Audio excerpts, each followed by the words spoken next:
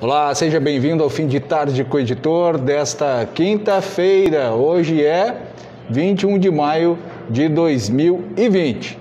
É, uma ótima tarde a todos. E daqui a pouco nós vamos falar. Ó, vocês viram aqui, ó, tô com uma máscara especial aqui do meu time do coração. Uh, em homenagem ao Fabiano de Souza, meu grande amigo Fábio, que trabalha aqui comigo torcedor fanático do Curitiba e eu vim hoje em homenagem ao Fábio. Brincadeiras à parte, é, daqui a pouco eu estou acompanhando aqui, ó, vou, vou virar um pouquinho meu o celular aqui, ó. É, eu estou acompanhando, começando esta live e também acompanhando aqui o, a live do, do, da Prefeitura de Toledo o pessoal já começou a se ligar aqui. A Rita Maria, boa tarde. Glória Mendes, boa tarde. Boa tarde para vocês também. É, então, assim, é, eu tive a confirmação. Nós temos mais um caso de Covid-19. Jean Zen também está nos assistindo. Boa tarde para o Jean. Claudinei Dias, boa tarde a todos. Auril de Maria Flack, boa tarde, obrigado. Fabiano de Souza entrou agora. A Glória Mendes, que é lá de Luisiânia. Ô, Glória, uma hora manda uma foto aí de Luisiana pra gente, é, pra gente, pessoal conhecer aí como é que é a Luisiana aqui no Paraná.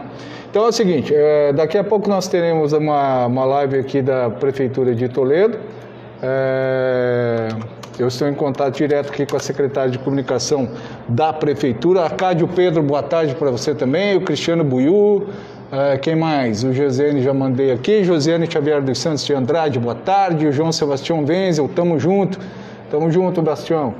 Uh, então é o seguinte, ó, vai começar essa live daqui a pouco, daqui a poucos minutos. Uh, e a secretária de comunicação da prefeitura, a Suzy Lira, me confirmou mais um caso de Covid-19 aqui em Toledo. A Rosiane Abeg, boa tarde. A Glória Mendes, vai mandar sim. Mari, Marilise Creus, boa tarde. Então, assim, é o décimo caso de Covid-19, tá, Aline Macedo? Décimo caso de Covid-19 aqui em Toledo. Felizmente não temos nenhum óbito. Hoje pela manhã surgiu a notícia de uma morte por Covid-19 aqui em Toledo. É, na verdade, era um paciente de jesuítas que estava internado em Toledo, mas ele não contraiu a doença em Toledo, tá? Então, as coisas têm que ficar muito claras. É, em momentos como esse, as pessoas precisam ter responsabilidade. E nós, aqui no Jornal do Oeste, temos esta é, responsabilidade. Nossa super fã, Dani Bevilacqua Dorigon, lá de Ouro Verde do Oeste, acabou de entrar, boa tarde para você. Então, assim, nós aqui no Jornal do Oeste temos essa responsabilidade em trazer as informações ah, corretas. Então, surgiu esse rumor hoje pela manhã, nós fomos atrás, o paciente é de jesuítas, é, faleceu hoje pela manhã, infelizmente, as, a família, as nossas condolências, mas ele só estava internado em Toledo, ele não contraiu a doença em Toledo. Dos pacientes que contraíram a doença e moram em Toledo, não temos, felizmente até agora, nenhum óbito. Todos estão em recuperação, dois já se recuperaram, os demais estão aí se recuperando. É, então, tudo indo, felizmente, indo bem, tá? Iria Maria Edith. Uh, boa tarde ao seu Polacchini, boa tarde para você, meu grande amigo. José Carlos Queiroz, boa tarde para você também. É, aí é o seguinte, enquanto não começa, assim começar a live, é, eu vou entrar aqui e a gente vai acompanhando os principais tópicos e eu vou informando vocês aqui é, em tempo real, tá? Mais um caso, Dani comentou, né? Mais um caso que triste, que sirva de conscientização para quem não está levando a sério. É verdade, Dani. A Miriam Abreu, boa tarde. O Eudes Dallagnol, ex-vereador aqui de Toledo, boa tarde para você também, Eudes. Então é o décimo caso confirmado uh, e a gente está só esperando uh, essa reunião começar. Houve uma. A Josiane Xavier também concorda, né, achando que o povo tá, acha que é brincadeira, né, Josiane? Realmente, as imagens que nós vimos aí no fim de semana, as pessoas bebendo e tal, não estão levando a sério. Uh, houve uma reunião do COI, o, eu nunca sei se é, é, acho que é Comitê de Operações Especiais, o COI, né, que é um, um, órgão técnico aqui da Prefeitura de Toledo, e é ele que toma as principais decisões em relação ao Covid-19, tá? Como eu disse ontem, houve também boatos aí sobre um possível... É, Claudinei Dias, faz uma matéria sobre descarte dessas máscaras. Boa, Claudinei, muito obrigado pela, pela lembrança. Eu vou mandar aqui já no nosso grupo da redação sugestão do Claudinei Dias. Matéria sobre descarte das máscaras. Muito boa a tua sugestão. Dona Lourdes Ansolim está nos assistindo. Um grande abraço para você, Dona Lourdes. Saudade. Olá, Márcio Pimentel. Saudade de, da senhora, Dona Lourdes, né? Da, das crianças, eu espero que estejam tudo bem, da Karina, do Anderson, um beijo a todos aí, tá? Então, assim, é, houve um. O César Augusto Fedel também, boa tarde. Eu estou falando, uh, o pessoal vai entrando, eu vou falando e a gente vai aqui se comunicando, tá? Fim de tarde com o editor é isso, não tem pauta, não tem nada. É, então, assim, não vai fechar. Uh, o Claudinei escreveu: Estou encontrando na rua. Claudinei, por favor, faça uma foto e manda para gente aí para nós uh, termos esse, este, essa comprovação aí e nós vamos fazer essa matéria. Já mandei aqui e me manda a foto, tá, Claudinei? Por favor. Jairo Luiz Serbarro, grande Jairão. Boa tarde, Márcia, a todos que estão aqui conectados. Boa tarde, ex-secretário da Juventude e é uma figura, joga um futebol de primeira qualidade. O Eriette Baltazar Walter, que oi, boa tarde, tudo bem? Mércia Rota, boa tarde, obrigada pelas atualizações. E assim que começar a live aqui da Prefeitura, ô Mércia, a gente vai atualizando em tempo real, tá?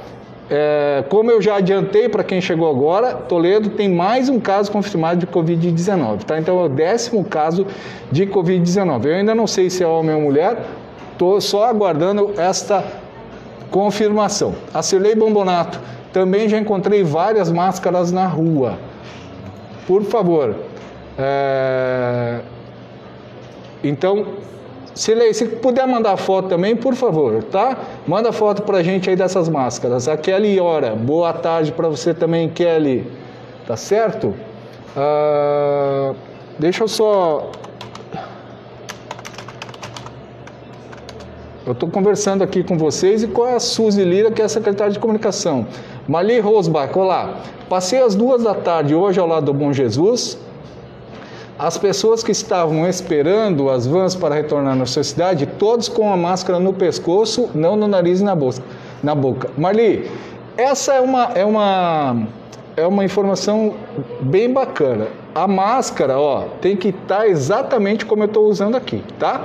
Então, é, eu vou tirar a máscara aqui um pouquinho para vocês entenderem. Então é o seguinte, quando você vai colocar a máscara, pega a máscara pelas laterais. A Bruna já mostrou isso, mas nunca é demais reforçar, tá? Então é o seguinte, vai colocar a máscara, ó, coloca, cobre o nariz e a boca, soltou atrás da orelha, ok. Ah, ela ficou aqui, ó, tá vendo? Tá aparecendo aqui no meu óculos. Eu vou ajustar. Eu pego aqui pelas laterais, ó. Eu não posso pegar aqui no nariz, na boca e tal, tá? Porque eu estou contaminando essa máscara, ok? Então essa é a forma correta. Dona Lourdes mandou aqui, né? Saudades. Também estamos com saudades. Abraço para Joana. Vanessa Becker, no domingo fui abastecer e fiquei indignada com a quantidade de pessoas no posto aglomerado sem máscara. Onde foi isso, Vanessa? Manda aí pra gente, por favor. Tá? É... A Suzy está verificando essa informação aqui que parece que, que seriam dois casos. Um é confirmado, mas parece que teria um segundo caso também de Covid-19 já confirmado, mais um em Toledo. Se, se, for, se forem dois, seria, iríamos a 11 casos, tá? É, mas isso daqui a pouco eu vou ter essa confirmação. Um é certeza, um já está confirmado, então chegamos a 10, com a possibilidade de ter mais um. Eu quero falar de um assunto bem importante também sobre o, a reunião que o presidente Jair Bolsonaro teve hoje. Inclusive, eu quero fazer uma pergunta ao prefeito Lúcio Demarque. Se a secretária estiver nos assistindo, eu quero já adiantar a pergunta que é sobre o, o, o dinheiro é, que teria sido já liberado pelo governo federal e para Toledo teriam vindo algo em torno de 17 milhões. Eu quero saber se esse dinheiro vai ser aplicado integralmente é, na saúde. A Vanessa escreveu aqui, posto de aulas ali no Jardim Porto Alegre, aqui em Toledo, né, Vanessa? É isso. Realmente eu recebi o vídeo também e o local foi visitado pela Prefeitura de Toledo, foi interditado lá, tá? No, no dia mesmo. É, então eu quero saber se esses 17 milhões já vieram para Toledo e se eles serão aplicados integralmente na área da saúde. A pergunta que eu vou fazer, tão logo a live comece, ao prefeito Lúcio Demar, que deve participar dessa reunião. Bom, em relação a essa, a, falando em reunião, né, em relação a essa que houve hoje pela manhã entre o presidente Jair Bolsonaro e os governadores, é, o presidente, temas como, por exemplo, a, o isolamento social e a retomada é, das atividades econômicas, é, elas ficaram de fora, tá? Foi uma conversa é, mais, um tom mais ameno, né? O Brasil é, tem 20 mil mortes pela Covid-19 e a contaminação hoje nós já temos aí aproximadamente 294 mil casos no Brasil hoje, tá?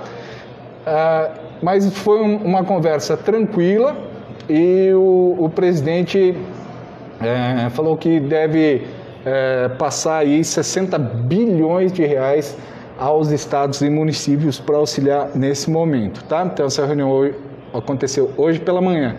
Um assunto que o presidente deixou no ar é a possibilidade de congelamento dos salários dos servidores públicos até 2021. Tá? Então seria esse ano, mas o ano que vem. É, é um assunto que certamente vai gerar muita polêmica. Afinal de contas, nós temos aí uma eleição pela frente. É, e quando fala em mexer em salário de servidor, é, é outra pandemia né, que se cria no Brasil. Tá? Mas é, é fato que os gastos públicos precisam diminuir, o, o, Estado precisa diminuir de tamanho. Eu, eu, eu defendo, eu sou um daqueles que defende, por exemplo, Uh, não digo um Estado mínimo, mas um Estado, uh, um estado coerente e, e, um Estado atuante naquilo que precisa atuar. Né? Eu, eu particularmente não vejo o, o Estado, eu vejo o Estado brasileiro como um, algo muito grandioso, não precisava ser do tamanho que é. Tá? Um grande abraço meu amigo Luiz Ferreira, está nos assistindo também. Deixa eu só confirmar aqui. Em instantes, ó, a secretária Suzy Lira me mandou agora aqui. Em instantes a live falando sobre novos casos. Então é no plural, tá? Sobre novos casos de coronavírus. Vamos só confirmar se são é, se é um ou dois casos. Um já está confirmado. Eu estou acompanhando aqui para ver é, se nós teremos um segundo caso. Vamos fazer o seguinte, são 5 e 12. Eu vou fazer o seguinte. Vamos interromper a nossa live agora é, eu vou acompanhar a live da prefeitura e tão logo eu tenho as informações, eu volto aqui direto nas redes sociais do Jornal do Oeste para trazer essas informações para vocês aí, tá certo? Então, fique ligado, avise os seus amigos. Já temos mais um caso confirmado e há a possibilidade de um segundo caso, mas isso daqui a pouco na live da prefeitura eu é, vou acompanhar e trago aqui para vocês, tá? Rapidinho, o Enem, as inscrições vão até amanhã. Uh, o, o Enem em si vai ser adiado, mas as inscrições só até amanhã, tá? Então você que é estudante do ensino médio tem até amanhã, sexta-feira, dia 22, para fazer para fazer a inscrição. A Kelly Hora mandou uma pergunta aqui: qual a atitude do senhor prefeito em relação aos casos que estão aumentando? Vai continuar funcionando normalmente o comércio e bares, pois é uma pena o povo de Toledo ainda não, não tomou consciência. Kelly é o seguinte: é, há um decreto restringindo o horário de funcionamento e a forma de atendimento, tá? Então, se você é, sabe de algum, algum estabelecimento que não esteja cumprindo as regras, é só denunciar na Guarda Municipal ou na própria Polícia Militar, tá? Então é isso. Se, se alguém não está cumprindo, é só denunciar na Polícia Militar ou na Guarda municipal. Márcio Jogador, meu xará lá de Medianeira, o MJ7, grande abraço, Marcião.